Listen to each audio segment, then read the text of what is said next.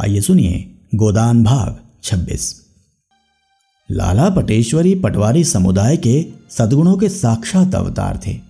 वह ये न देख सकते थे कि कोई आसामी अपने दूसरे भाई की इंच भर भी ज़मीन दबा ले। न वे यही देख सकते थे कि आसामी किसी महाजन के रुपए दबा ले।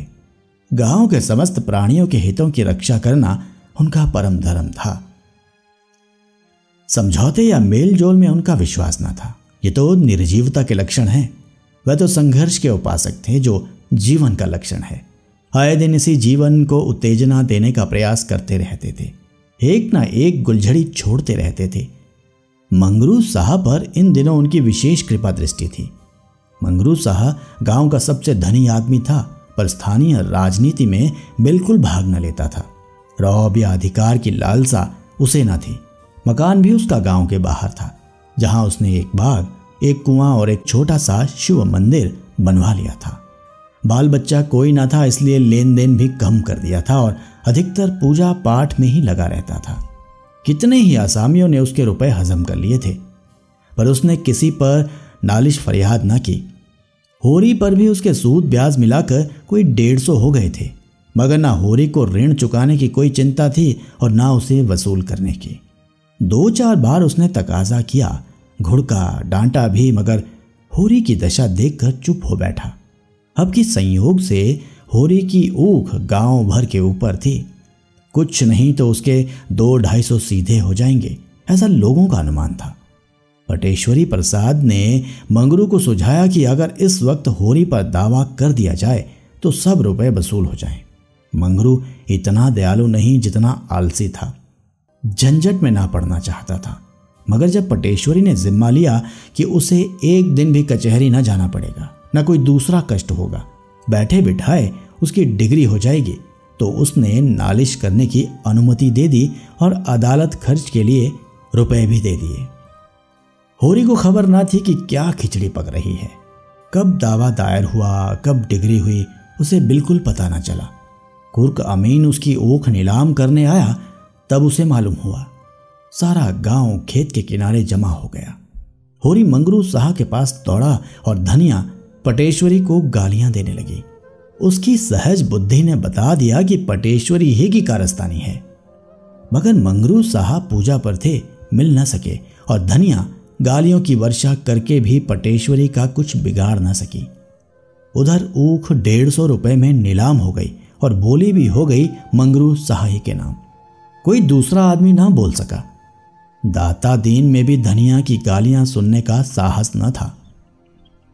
धनिया ने होरी को उत्तेजित करके कहा, बैठे क्या हो? जाकर पटवारी से पूछते क्यों नहीं? यही धर्म है तुम्हारा गाँव घर के आदमियों के साथ। होरी ने दीनता से कहा, पूछने के लिए तूने मुँह भी रखा हो। तेरी गालियाँ क्या उन्होंने ना सुनी होंगी? जो गाली खाने का काम करेगा, उसे गालियाँ मिलेंगी ही। तू गालियाँ भी देगी और भाईचारा भी निभाएगी। देखूँगी, मेरे खेत के नगीज कौन जाता है? मील वाले आकर काट ले जाएँगे। तू क्या करेगी और मैं क्या करूँगा? गालियाँ देकर अपनी जीप की खुजली चाय मिटा ले। मेरे जीते जी कोई मेरा खेत काट ले जाएगा? हाँ तेरे और मेरे जीते जी सारा गाँव मिलकर भी उसे रोक नहीं सकता। अब वह चीज़ मेरी नहीं, मंगरू साह की है। मंगरू शाह ने मरमर कर जेठ की दोपहरी में सिंचाई और गोड़ाई की थी। वह सब तूने किया, मगर अब वह चीज़ मंगरू शाह की है। हम उनके कर्जदार नहीं हैं। ऊख तो गई, लेकिन उसके साथ ही एक नई समस्या आ पड़ी। दुलारी इसी ऊख पर रुपए देने को तैयार हुई थी। अब वह किस जमानत पर रुपए दे? अभी उसके पहले ही के दो सौ रुपये पड़े हुए थे। सोचा था, ऊख से पुराने रुपए मिल जाएँगे तो नया हिसाब चलने लगेगा। उसकी नज़र में होरी की साख 200 तक थी। इससे ज़्यादा देना जोखिम था। सहालग सिर पर था। तिथि निश्चित हो चुकी थी। गौरी महतो ने सारी तैयारियाँ कर ली होंगी। अब विवाह का टलना असंभव था। होरी को ऐसा क्रोध आता था कि जाकर दुलारी का गला दबा ले। जितनी चिरौरी विनती हो सकती थी, वह कर चुका। मगर वह पत्थर की देवी जरा भी न पसीजी। उसने चलते चलते हाथ बांधकर कहा दुलारी, मैं तुम्हारे रुपए लेकर भाग ना जाऊँगा। ना इतनी जल्दी मरा ही जाता हूँ। खेत है, पेड़ पालो हैं, घर है, जवान बेटा है। तुम्हारे रुपए मारे ना जाएँगे। मेरी इज़्ज़त जा रही है, इसे संभालो। मगर दुलारी ने दया को व्यापार में मिलाना स्वीकार न किया। अगर व्यापार को वह दया का रूप दे सकती तो उसे कोई आपत्ति ना होती। पर दया को व्यापार का रूप देना उसने ना सीखा था। होरी ने घर आकर धनिया से कहा, अब धनिया ने उसी पर दिल का गुबार निकाला। यही तो तुम चाहते थे। होरी ने जख्मी आँखों से देखा, मेरा ही दोष है। किसी का दोष हो, हुई तुम्हारे मन की। तेरी इच्छा है कि ज़मीन रहन रख दूँ। ज़मीन रहन रख दोगे तो करोगे क्या, मजूरी? मगर ज़मीन दोनों को एक सी प्यारी थी। उसी पर तो उनकी इज़्ज़त और आवरू अवलंबित थी, जिसके पास ज़मीन नहीं, वह गृहस्थ नहीं, मजूर है। होरी ने कुछ जवाब न पाकर पूछा तो क्या कहती है? धनिया ने आहत कंठ से कहा, कहना क्या है? गौरी बारात लेकर आएँगे, एक जून खिला देना, सवेरे बेटी विदा कर देना। दुनिया हंसेगी, हंस ले। भगवान की यही इच्छा है कि हमारी नाक कटे, मुँह में कालिख लगे तो हम क्या करेंगे? सहसा नोहरी चुंदरी पहने सामने से जाती हुई दिखाई दी। होरी को देखते ही उसने जरा सा घूंघट निकाल लिया। उससे समधि का नाता मानती थी। धनिया से उसका परिचय हो चुका था। उसने पुकारा, आज किधर चली समधिन? आओ बैठो।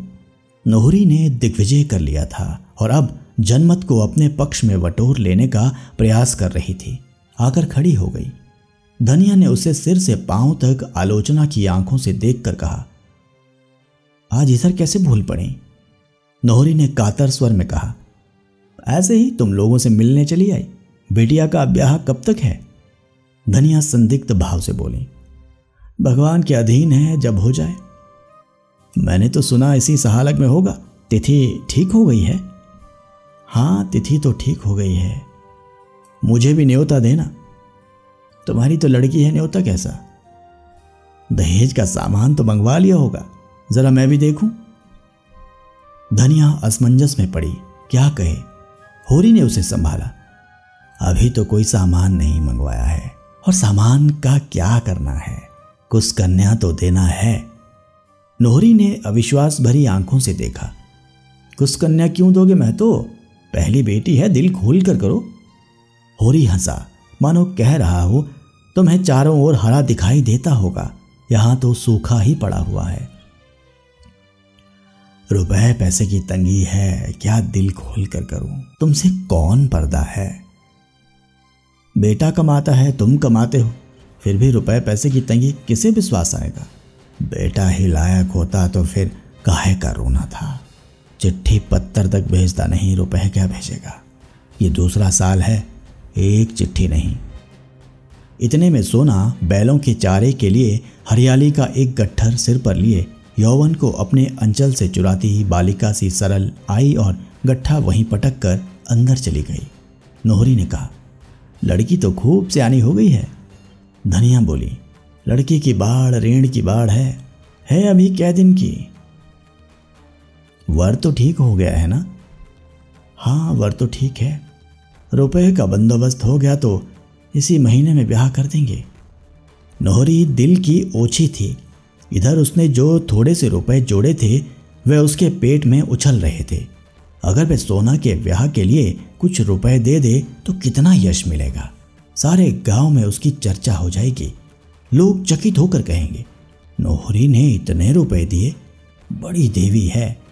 होरी और धनिया दोनों घर घर उसका बखान करते फिरेंगे। गाँव में उसका मान सम्मान कितना बढ़ जाएगा? बहुंगली दिखाने वालों का मुँह सीधेगी। फिर किसकी हिम्मत है जो उस पर हंसे या उस पर आवाज़ें कसे? अभी सारा गाँव उसका दुश्मन है। तब सारा गाँव उसका हितैषी हो जाएगा। इस कल्पना से उसकी मुद्रा खिल गई। थोड़े बहुत से काम चलता हो तो मुझसे ले लो। जब हाथ में रुपए आ जाए तो दे देना। होरी और धनिया दोनों ही ने उसकी ओर देखा। नहीं, नोहरी दिल लगी नहीं कर रही है। दोनों की आँखों में विस्मय था, कृतज्ञता थी, संदेह था और लज्जा भी। नोहरी उतनी बुरी नहीं है जितना लोग समझते हैं। नोहरी ने फिर कहा, तुम्हारी और हमारी इज़्ज़त एक है। तुम्हारी हँसी हो तो क्या मेरी हँसी ना होगी? कैसे भी हुआ हो पर अब तो तुम हमारे समधी हो।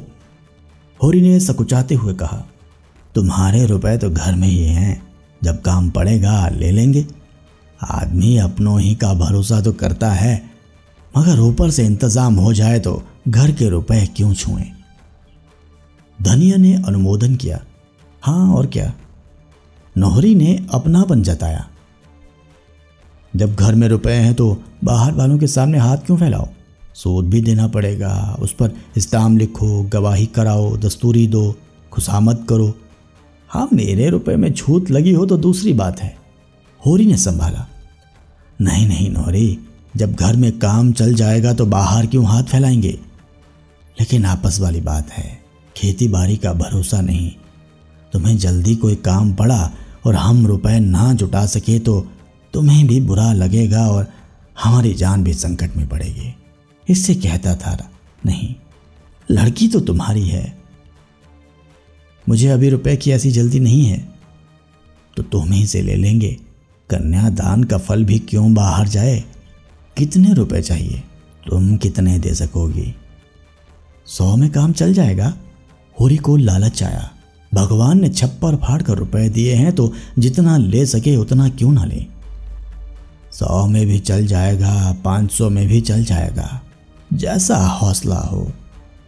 मेरे पास कुल दो सौ रुपये हैं, वह मैं दे दूँगी। तो इतने में बड़ी खुशफैली से काम चल जाएगा। अनाज घर में है, मगर ठकुराइन आज तुमसे कहता हूँ, मैं तुम्हें ऐसी लक्ष्मी ना समझता था।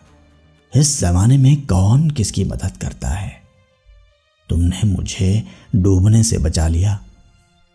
दिया बत्ती का समय आ गया था। ठंडक पड़ने लगी थी।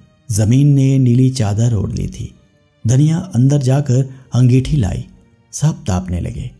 पुआल के प्रकाश में छबीली, रंगीली, कुल्टा नोहरी उनके सामने वरदान सी बैठी थी। इस समय उसकी उन आँखों में कितनी सहृदयता थी, कपोलों पर कितनी लज्जा, होठों पर कितनी सत्प्रेरणा।